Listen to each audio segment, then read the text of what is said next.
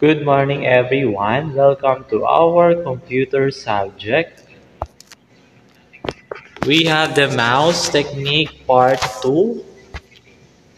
I have here the picture of the mouse. Again, what is the parts of the mouse? We have here the mouse wire, left button, right button, and the scroll wheel.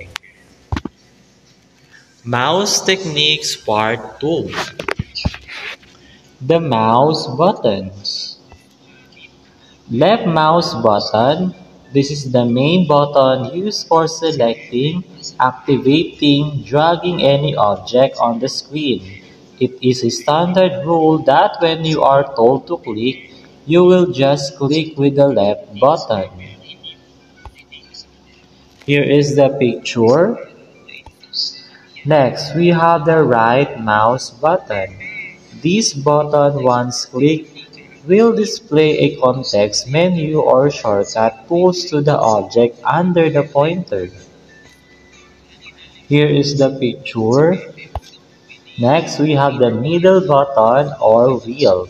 This is the main use for scrolling up or down, but on the some application like a web browser, you can use this to open a link in a new tab or close browser tabs quickly.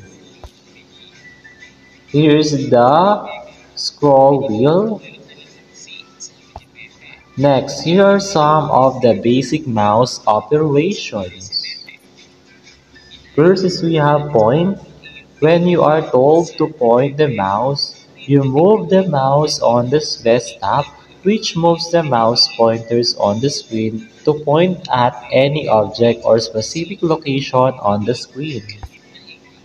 A click A click is a process of the mouse button, one press and release of the left button or the main button.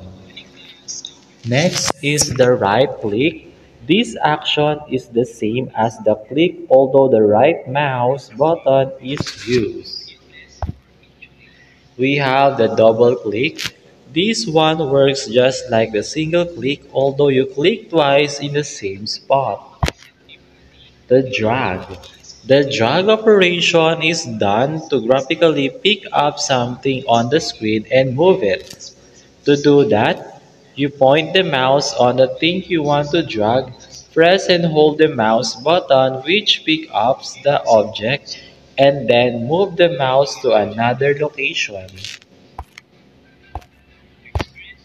Thank you for watching.